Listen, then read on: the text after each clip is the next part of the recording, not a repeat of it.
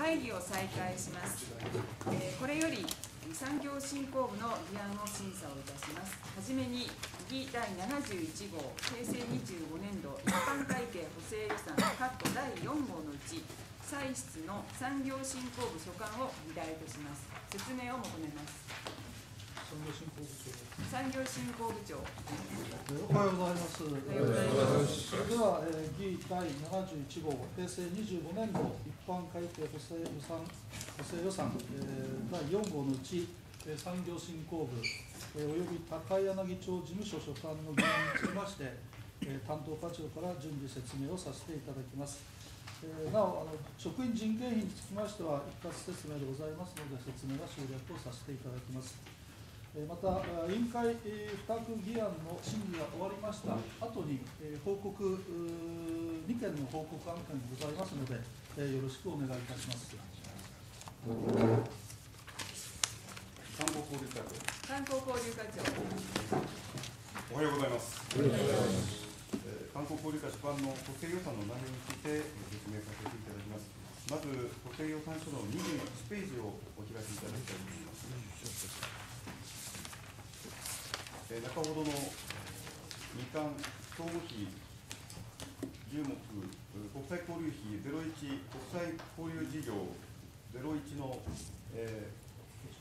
友好交流推進事業65万円につきましては、友好提携都市である中国江蘇省ワイアン市のワイアン区のご一行が来日されることになり、歓迎レセプション費、それから宿泊費等の滞在費用を負担するために、国際化協会と組織する、実行委員会の負担局として、ございます。平成19年度以降途絶えておりました交流の再開について、中国江蘇省国際交流センターの担当者との間で協議を進めてまいりましたが、ようやく本年7月上旬になって、日程がほぼ固まってきたことから、措置いたしたいものであり、来日は11月頃になる見込みになっております。なお、ご一行はワイアン区人民代表大会責任者を含む6人と聞いておりますし、青少年交流をはじめとする今後の交流についての意見交換をすることになっております。続きまして、予算書37ページをお開きいただきたいと思います。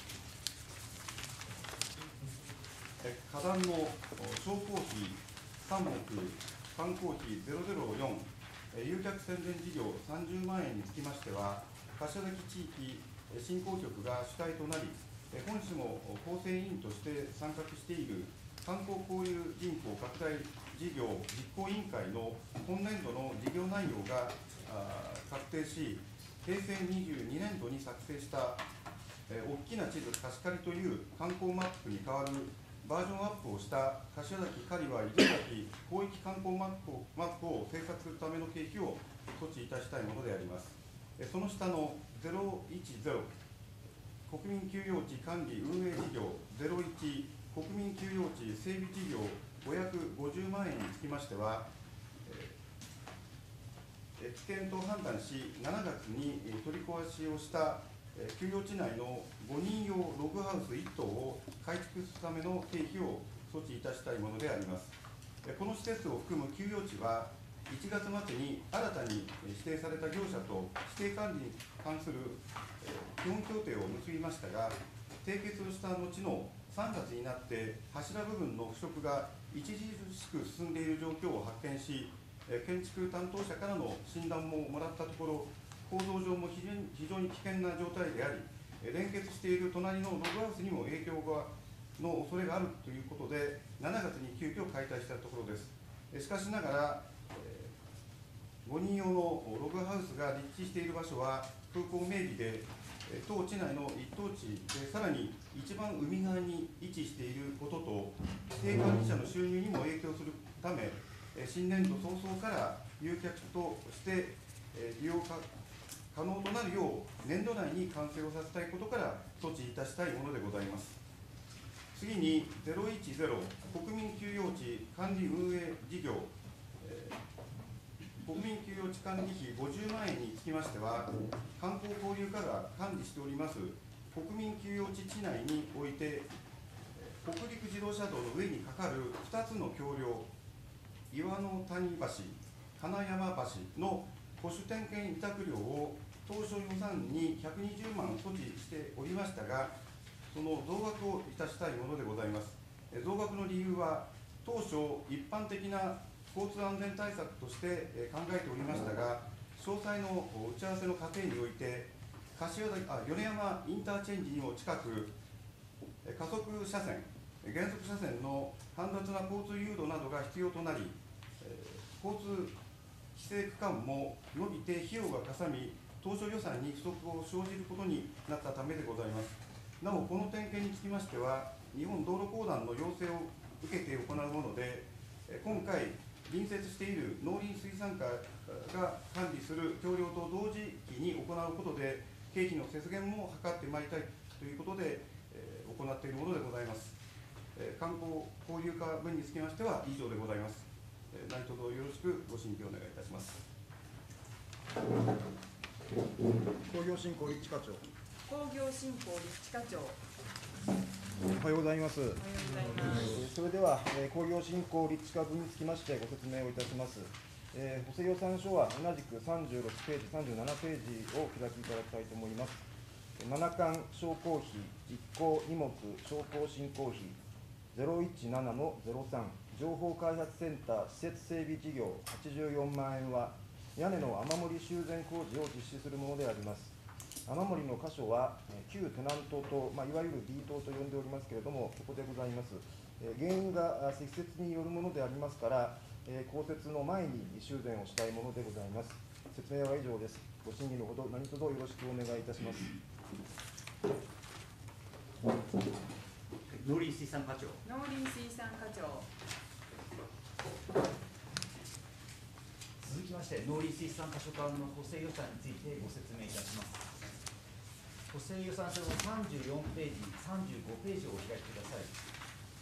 農林水産業費1項農業費の中ほど五目農事費にあります。002農業施設維持管理費用140万円の増額は先ほどあの観光交流課長からも説明がありましたけれども高速道路上の歩道橋の保守点検委託費の増額であります。農林水産課の増額の理由といたしましては一つ目として点検橋梁を一挙追加させていただきたいこと。二つ目は先ほど観光交流課長が申し上げました通り寄山インターチェンジに近くて交通誘導経費が割高になるために合計で140万円の増額をお願いした増額を措置したいものです。詳細を申し上げますと点検箇所については当初は上和新田笠島町内の2橋梁の点検委託を予定しておりましたがこの上和新田の歩道橋に隣接して農業用の水路橋が1橋あることが確認されました。高速道路の交通誘導対策を同時に行われることから今回この水路橋点検を追加し一括同時に点検したいというものでございます。2つ目の交通誘導経費の増額につきましては、先ほど観光交流課長から申し上げましたとおり、インターチェンジによる加速、減速車線の交通誘導等にあの経費が、委託費がを増額したいというものでございます。次に予算書のすぐ下となりますが、006農村総合整備事業西中通り3200 3200万円の増額は農村振興総合整備事業で昨年度から橋場、長崎、長崎新田地内の集落内道路3路線の道路改良を進めておりますが国の補助金の追加割当がありましたので今回の補正により用地買収費と物件保証費を増額しまして来年度には一部に一部工事に着手できるよう道路用地取得の進捗を図りたいというものでございます。続きまして補正予算書36ページ37ページをお開きください。一番上段の2項林業費2目林業振興費になります。004林道整備事業。2000万円の増額についてご説明いたします。林道米山線の減額250万円は現在林道の中間地点において落石等の危険箇所ののり面保護工事を行っておりますが来年度から規模の大きなのり面工事については、補助率の良い国庫補助事業で取り組むめどがつきました。このため、今年度は緊急性の高い箇所の工事だけを行い、来年度以降にできるだけこの国庫補助事業で取り組むこととして、工事費を減額したいものであります。次に、林道黒姫山線の増額2250万円については、高山町の一部区間の改良工事を今年度と来年度の2か年計画で実施しておりますが、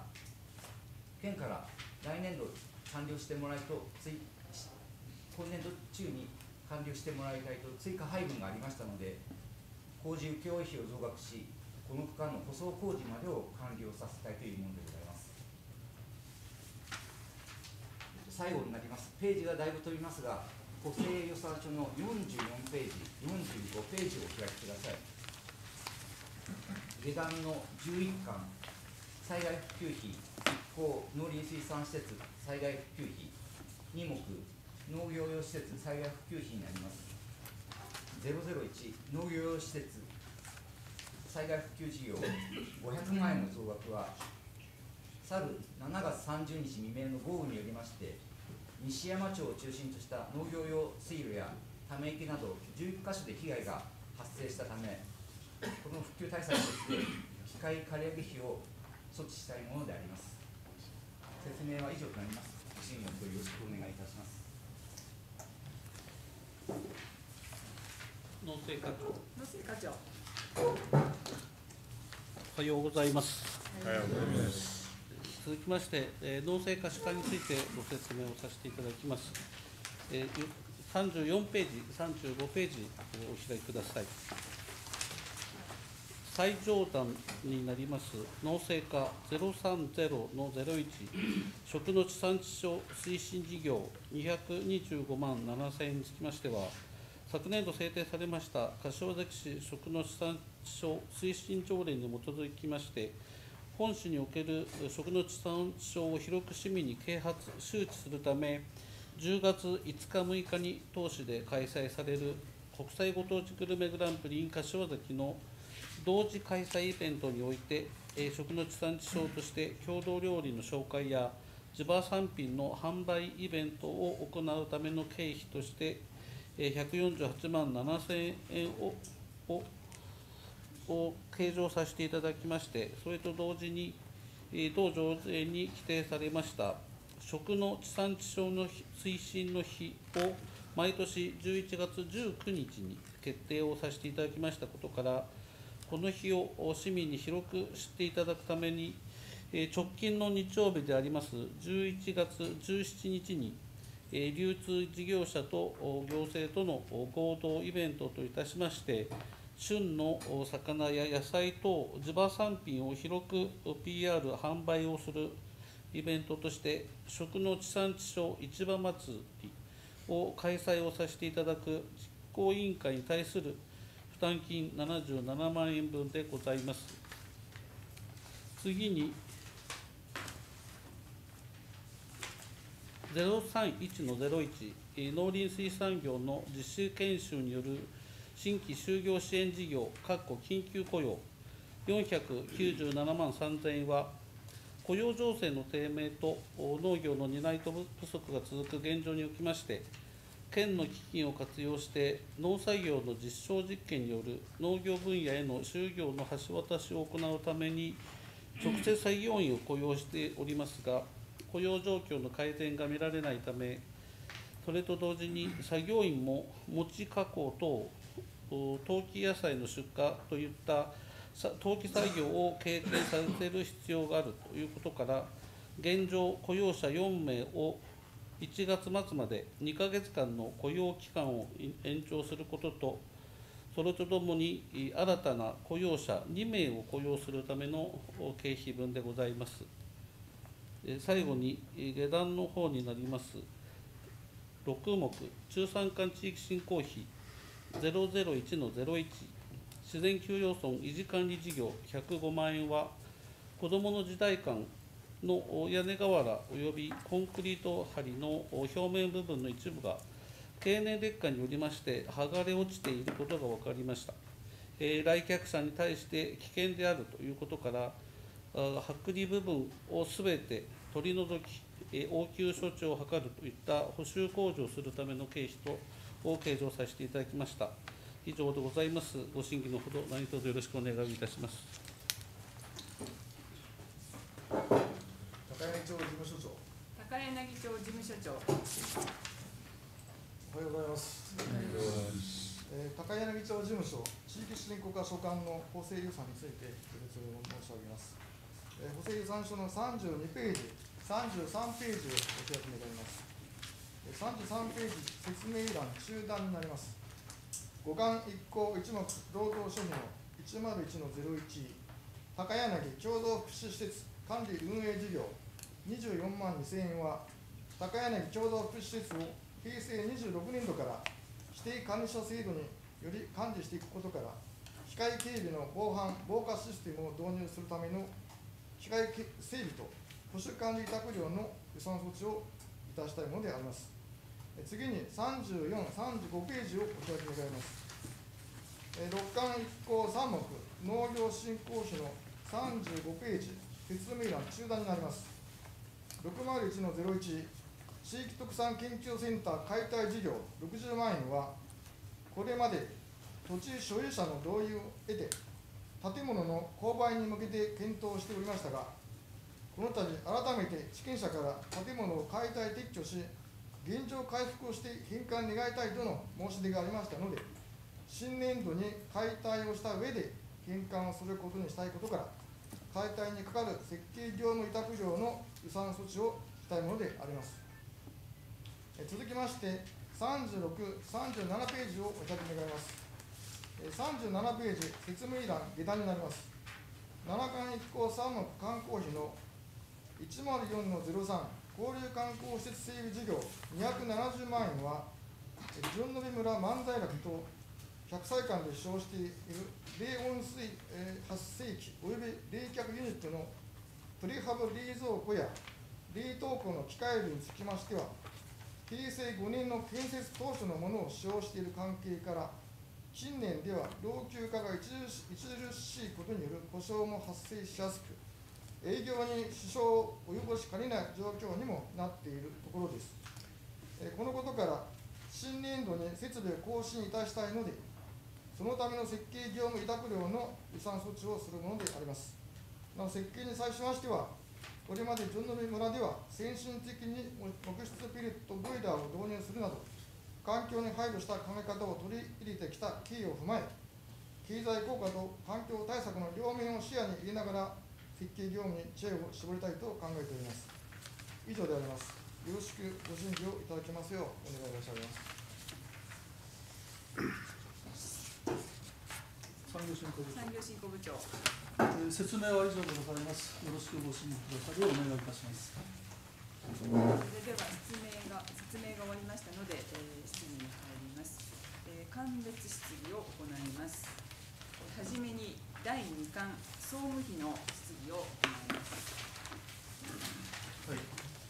佐藤委員。えっと、20ページのあの観光交流課の有効交流推進事業ですけれども、えー、大体の内容につきましては、今の説明で、えー、提案で分かったんですけれども、もうちょっと詳しく、えーお聞きしたいですけれども、えーまあ、6人で、えー、YS から来られるということなんですけれども、何泊ぐらいで来るのかということと、あと、えーまあ、有効ということで、えー、交流するという大体のところは分かったんですけれども、具体的にどういうふうな有効の形で、えー、稼ぐ方に来るのかということをちょっとお聞きしたいということなんですけれども、でもう一つは、まあ、その19年からあのこの交流が途絶えていたというふうな説明があったわけですけれども、私も議員になってえーそんなに経っていませんので、この4年間、5年間ですか、えー、中止をされていた、中断をされていた理由と、でもう一つは、えー今の時期、えーちょっと今、日本とその中国、韓国との関係がえーちょっと悪いような状況の中で、えーこういったタイミングでえー会社機の方に来るといった経緯について、えーちょっと詳しくお聞きしたいなということで、えーお願いします。観光交流課長。観光交流課長えーまずあの、えー宿泊の部分につきましては、えー私どもとしては2泊3日ということで、えー、予算計上してございます。えーそれから、えー内容でございます、あの経緯も含めてですが、えー実際には今の中国との関係はご存知の通りでございますけれども、えー正直、私どもも、えーっとタイミングをどう捉えていいかという中で、実は今年の5月に入って、先ほど申し上げました江蘇省の、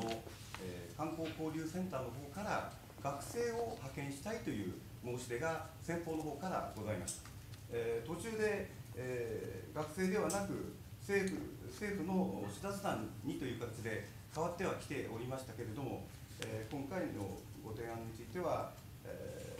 中国の方から学生を交流させしたいまた同じようなあ交流につきましては岡山県の吉備、え中央町も同様に、えー青少年の、えー交流を行っておるところでございます。え中断した理由については、あやはりあの地震があの、大きな理由で、えーございます。以上でございます。はい私もあの何の目的があってこの質問をしたのかというところはよくわかんない、ただ聞きたか？っただけなんですけど。あのまたあのこの言わんだっていいや厚生の予算の金額がですね、そのいいとか妥当かどうかというところも含めて、またあの実際に剣木に石を炒めて経費とかあの見に行ってです。ね、どの行事が必要かというのを確認していきたいと思いま。あ関連するだろうと思って質問いたします、えーご承知のようにこのワイヤン市との交流は西山町時代に西山において始まった事業ですね。で私ども記憶するにその当時もしくはそれよりも早く柏崎市としてはガビ山市と交流をやり、えー姉妹都市提携だがそういったものを締結をしているんですね。それは災害市長と私が議長の時代です、えーこれはそもそも発端は、えー、シリアのシドニーの橋杭がガビ山と書いた橋杭が、まあ、ついたと。でそれをお何らかの理由でシリアの殿様が高柳町のおまあ資産家なんでしょうね。高橋さんで今定会員などあります。そこに、まあ、譲ったということが発端となって高柳と柏崎がガビジャンに行って締結をしたという経緯があるのをご存知だと思いますけれども、えー今そのガビジャンとの交流といいますか関わりの状態はどんなふうになっていますかね。全くその最近は声を聞かないんだけれどもその辺の状況はどうなっておりますか？観光交流課長。です。観光交流課長。えー現在、学産市とは今交流の部分のやり取りは今中断しております。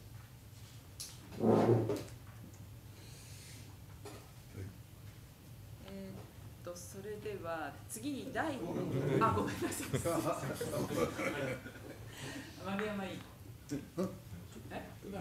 向こう手あ失礼いたしました。答弁ですね、えー、観光交流課課長代理。はい、韓国交流課、えー課長代理でございます。えーガビ団との交流については、えー昨年度6名のですね、えー訪問団が来られております。え？ーはい、昨年度ですね。課長と違うじゃないはい、それであの、えー、と今後の、えースケジュールについては、えワイヤン氏との関係もございますので、えーどのように、えー計画を立てて、えーまあ、これからの交流を進めていくか、えー今回のワイヤン氏が来てからのスケジュールになりますので、それをこれから調整していきたいというのが現在の状況でございます。そういたしますとね、今の課長の答弁では、全くもう音信不通みたいな感じの答弁でしたよね。しかし、今、ガビさんとのそういう話し合いのパイプがつながっているというふうに考えていいんですか？産業振興部長。産業振興部長。あの大変失礼しました。ガビさんの件は今、代理が申し上げた通りでございます。あの一応、今年の4月でしたので、あの昨年の経緯を少し、えー、承知しなかったという点でお詫び申し上げたいと思います。今、あの議員お議員おっしゃるようにですね、ガビさんさんは昨年来られて、今後またどういうふうに交流を続けていくかということは、あー少し市長との間でも話をされましたので、また継続して具体的な交流のあり方というものは、まあ、今後継続して中身を、まあ、具体化していくということであります。以上でございます次の皆さんよろしい。あ、れですか、あの負担金なんですが、えー、と実際には、えー他に、市のほかにどういう団体、があー負担をして、えーこれを推進しよう、えーしようとしているのか、その辺ちょっとお聞かせください。金額も分かれば、相対の事業費というんでしょうかね、えーもう合わせてお聞かせいただければありがたいんですが。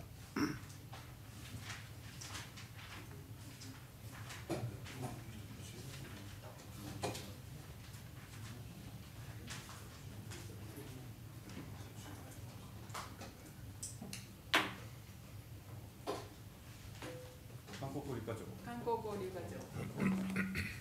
えー柏崎は65万、それから国際学協会がえー5万円、えーそれから先ほど説明しました、えー歓迎レセプションの関係の、えー懇親会の負担金15万円を見込んでおりまして、総事業費は85万円ということで予定しております。はい、えー今ちょっと聞いていて思ったのが、まあ、ラブサン市はどういうふうなあれか事事情か分かりませんけれども、今回のワイナン市も向こうから申し入れを受けて、すべて、まあ、その通り受けているっていう感じに受け取ったんですけども、こちらからこうこういうふうな関係にしていこうというふうな積極的な意思があるのか、向こうから受けえー申し入れがあったものをそのまま分かりましたというふうにして、すべて、えー受けていこうというふうなあ方針なのか、その辺の考え方についてお聞きしたいと思います。産業振興部長。産業振興部長。まああのどちらが積極的かっていうのは少しまあございますけれども、まああのワイヤンにつきましては、えーいわゆるまあ昨年3月にこれはワイヤン市ではございませんが、その上のいわゆるう高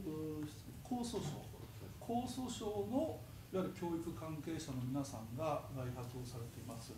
で私どもは、まあ、ワイヤン市というその西山町時代からの流れの中で合併の平成17年に改めて市として、まあ、協定といいますか移行都市を締結したということで、まあ、現在に至るんですけれども、えーなかなかあのやはりお国柄もございましてこちらいろいろま情報をやり取りするにも相当実は時間がかかります。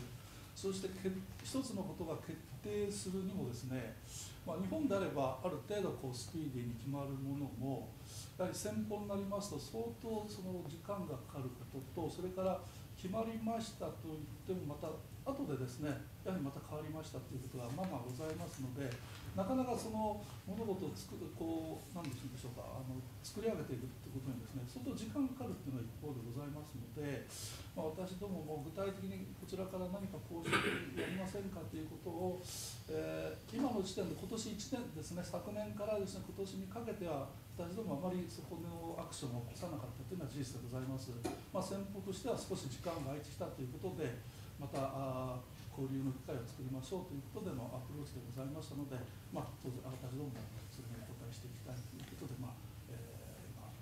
取り組んでいるということでございますので、まあ、あのこちらが常にこう毎年ですねどうしましょうどうしましょうというようなま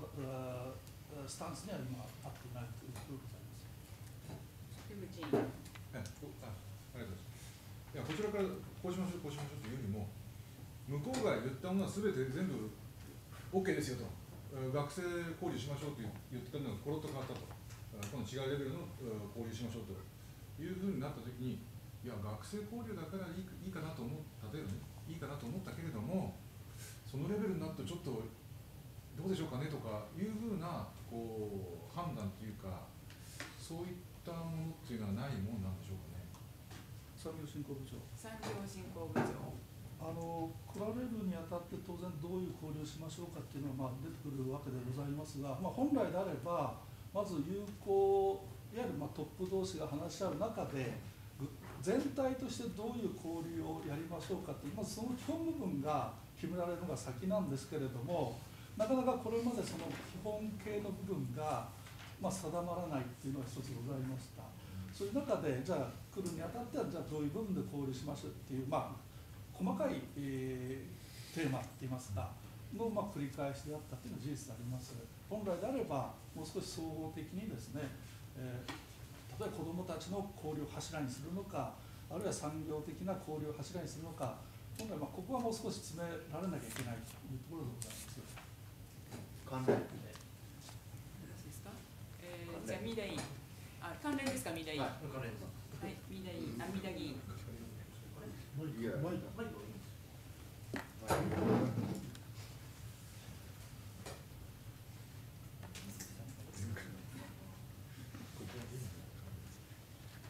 同じ関連なんですけど、前回、いこの方がいらっしゃった時も問題になって、僕、質疑をしたんですけど、宿泊費をこちらが負担すると、でこちらの人間が行く時は自分たちで出すんだということが前回のパターンだったんですけど、それが本当の対等な交流かどうかっていうのは、私、少し疑義があるんですよ。で今回も宿泊費を負担まで入ってて、単純計算したって、6人で1泊10万なんてどこ止まんですかという感覚になるんです、まあ、単純だからそんないいんですけど、それでも高いこの費用をなぜこっちが負担して、でこっちが行くときは、えー例えば市長とか議長が行くときには費用でまた上がってますよね。これが本当の交対等な交流なのか有効なのかどうかというのは少し疑義があるんですけどその辺は話はしたんですけどね費用の負担面はまあちょっとどうかなと思うんですけどいかがなものでしょうか、産業振興部長。産業振興部長。と私が承知をしていますあのいわゆるうガビさんあるいはワイヤーとの交流の中でいわゆるその渡航費用これはそれぞれが負担をする。とただ行った時の滞在費は迎える側で費用負担しましょうということでこれまで、えー来ていると思います。したがって私どもがワイヤー市を訪れた時の滞在費は先方で、えーご負担いただいているというのがこれまでのあの経過と思いますのでそれにまあ見習っているということで措置をさせていただいたものでございます。議長が議長がはい、えー、佐伯議員議長が言ったことなんですよ。議長がえー、と私、西山出身なもんで、この経過よくわかるんですが、えー平成4年頃からですね、この当時の戸次町長が始めまして、それで当初の交流は、えー行政同士のは話だったんですが、その後小中学生の交流がずっと始まりまして、基本的には今言ったように、まず、あのその子どもたちの交流をお互いしようということでずっとやっておりました。それで、えー後半になってからですね、向こうの方がその産業の方ですね、そっちの方の関係でっていうような希望もあったんですが、西当時の西山町では、西山町ではやらなかったと。それで今のあの交通費の問題ですが、今言ったように渡航費、向こうの例えばこっちから行くときは中国まではこっちで負担すると。中国の国内からはあの向こうの方で負担する。向こうから来た時には日本まで来て日本からの渡航はこちらで、うん、そういうようなことで、えやってたと思うんですがその辺のその西山町からのですね、えー継続的なその今言った小中学生の交流ですね。これは当然継続してると私は思ってたんですがその辺の経過はいかがになってるんですか？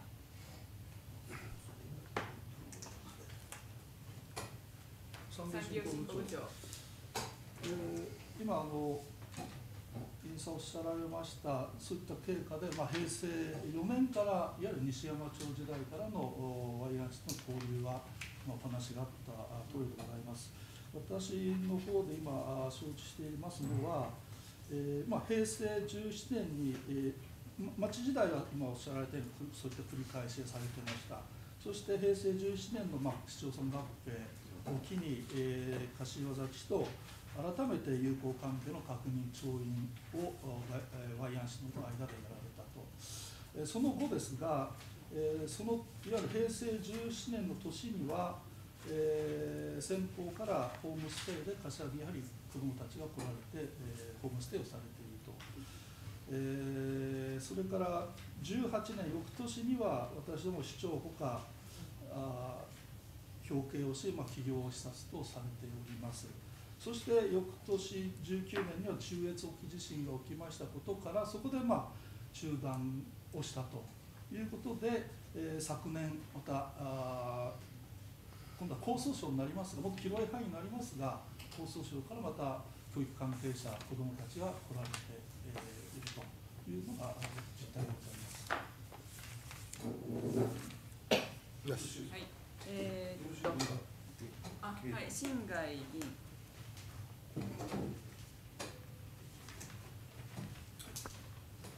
すいません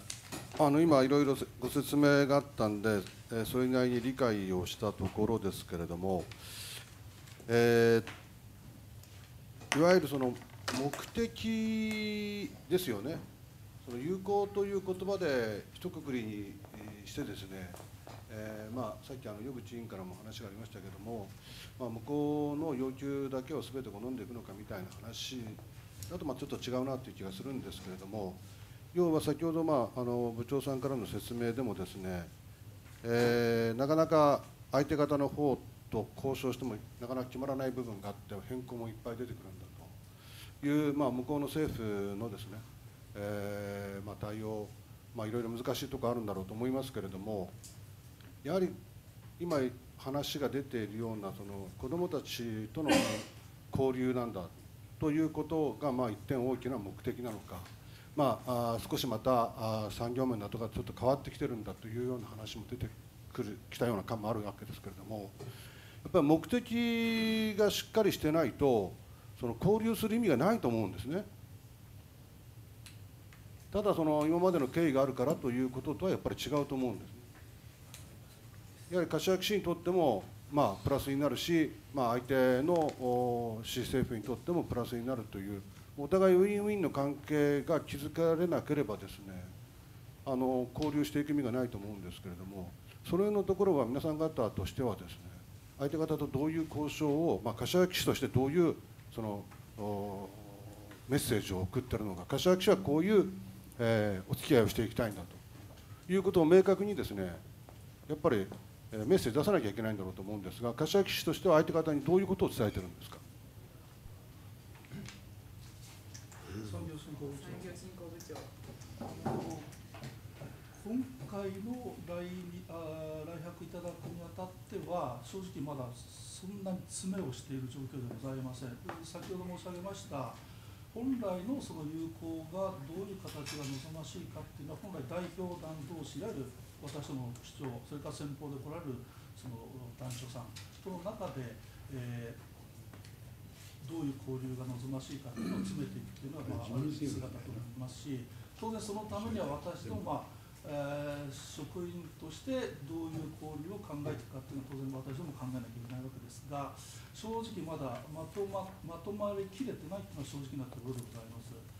えーそういう子たちの中で、まあ、これまで続いている、まあ、どうしても子どもたちの交流がどうしても主眼になっているのは事実でございますが、ただ、あのとかく中国というと、まあ、卓球、スポーツでは卓球ということになるんですが、ただ、先方の中国の皆さんからすると、例えば卓球交流はやめてほしいと。というようなこともございますので、なかなかこう具体的にどこにこうテーマを作ってやるかっていうのがですね、私ども自身もなかなかまだ定まっていないというのは正直なところでありますけれども、今後のそのいわゆる長い目で考えていく中では、当然一つの目標というのはしっかり持って交流していかなきゃなというのはあの認識しているつもりです。あの卵が先か鶏が先かみたいな話になるかもしれませんけどね。やはりあの相手の交流団の団長と市長がねいわゆるトップがあって話をしてそこで決めていくんだな。そんなこと普通考えられないですよ。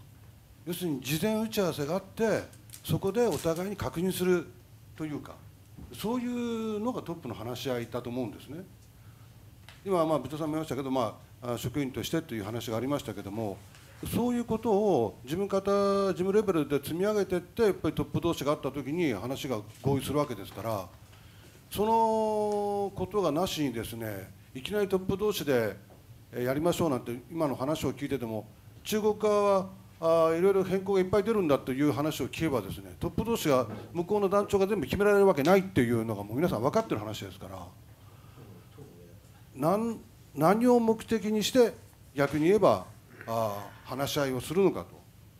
いうことをですねやっぱりきっちり相手方にメッセージを送ってこういう内容の話をしたいと思いますということをですね事前にやっぱり渡すというかあの情報発信しておかなければやっぱりならないんではないかなと。これから会ってから考えるんですみたいな話だとなんかあ物見湯さんに来る人たちを招待するみたいなね、えー感じで終わってしまうんじゃないかなという思いがします。感想産業振興部長あの決してですね白紙の状態で訪れたからそこで何かを決めるというふうに申し上げたつもりはございませんけれどもあの当然のことながら事前にですねこういった交流が望ましいということをお互いの、えー、出てきたサイトで、えー、程度方向性を出した上でそれぞれのまたご判断いただくということが当然のこの流れだというふうによしはいあもうこれ以上言いませんけれども、やはり私は、まあ、65万円という金額が高いか安いかは別としても、皆さん方が補正でこうやって出してくるわけですから、やはりその出してくる内容がですね、こういう目的があってやるんだということがなければ、私たちもそうですけど、市民の皆さんに、何しに来るんだね、などういう人が来るんだね？って言われても、いやー、これから話するらしいわっていうような、そんなね、いい加減な話にならんと思いますよ。だから皆さん方がきちっと、おまあ、どのタイミングでもいいですけども、おこういう目的を持って今回、えー、ワイナン市の政府の皆さんご一行を迎えて、今後のあの中国との交流を深めていくという、ちゃんと目的を明確にですね、どっか出していただかなければならないんだろうというふうに私は思いますが、あもう一回確認だけしておきます。観光交流課長。観光交流課長。あの予算書の説明をさせていただいたあ部分もございますが、え今回あの、えー交流の目的という部分に、えー当たる部分としては、えー先方の方からは、えー青少年の交流という形でのおお話をさせていただきたい、えーこれまでも、えー中国とのこの交流の中では、中学生、または学生という部分の交流が続けられてきておりますので、えー先ほど申し上げました、えーあの岡山県の場合でも、えー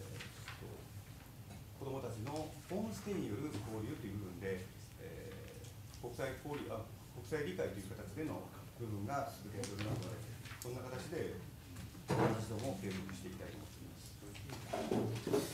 すみません。あのさっきもですね、えっと、三田議員の方から説あの質問があったんですが、このろ6人おいでになるわけですよね、先方さんが。で、65万ということは、1人、えー、あたりでですね、まああー、10万円の金額になるわけですよ。で、これちょっとあの予算化するときにですね、大体どうだろうという打ち明けがあると思うんですけど、ちょっと聞かせてください、中身を。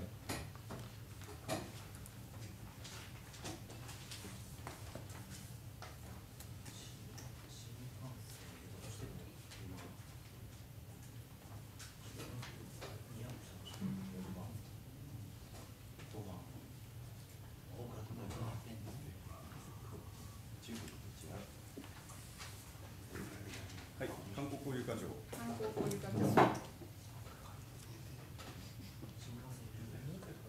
えー内訳につきまして、主なものについては、えー宿泊代、えー、2泊で、えー、10万、10万円、えー夕食、えー夕食等で、えー、17万円、えー歓迎会の経費が18万円、バスのチャーターが約10万、主なものについては以上でございます。はい、えーっと、なしえも、えー次、五感うん労働費の質疑を行いたいと思いますけれども、あのちょうどお昼の時間に差し掛かりますので、えーここで、えー委員会をお中断し